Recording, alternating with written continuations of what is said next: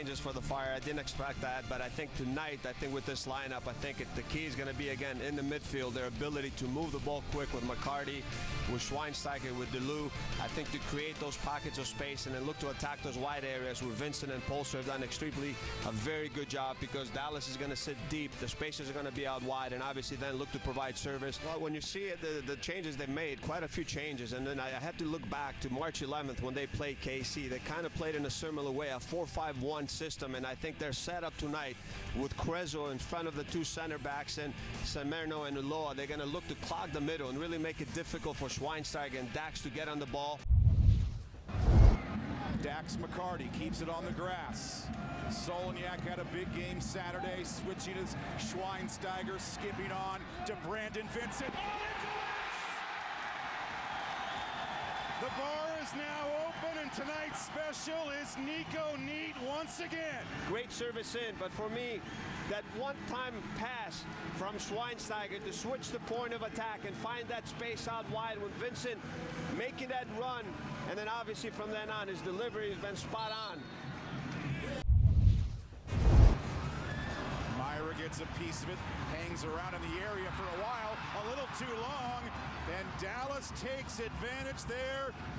Not a good clearance there by Meira. See it just a little bit unlucky with that deflection there. Kappelhof trying to clear it, just see it there again. Not the best clearance, and then just Kappelhof just got to clear that one away.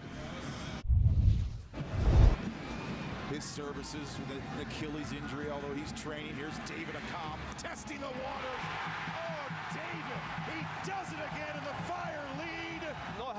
As, as, as Accam comes inside. You see him here, you, you isolate him, you leave Accam one-in-one -one situations. He's so quick off the dribble, cuts inside, and then just gets it set up and just picks the back post. Vincent. Picking up the scraps there, Dax McCarty, the low burner wide. Off of Hedges, hunting for it, Nemanja Nikolic. Beats Seitz to it. Nemanja Nikolic. Oh, when you're hot, you're hot. And if you would have found goal there. Well, he's trying to chip it in the back post. Not, not an easy task. Harris spins it in. First to it is Polster. Comes down. Morales. So from virtually the same spot, Morales again.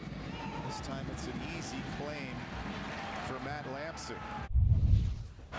As I've seen in some of their matches at times when he's on the field with Zimmerman, they both get in there. Here's Barrios. The cross through. Juninho, Nemanja Nikolic. Back to Juninho, fires and Seitz the save on Juninho. Alvarez, Nikolic, Juninho over his shoulder. Juninho wrestles it back. Nikolic doesn't get it. Alvarez now a chance to put this away. Nikolic is coming in just to tuck that one away. Law comes in late, and you can just see just uses his body just to push him out of the way. To put the game away.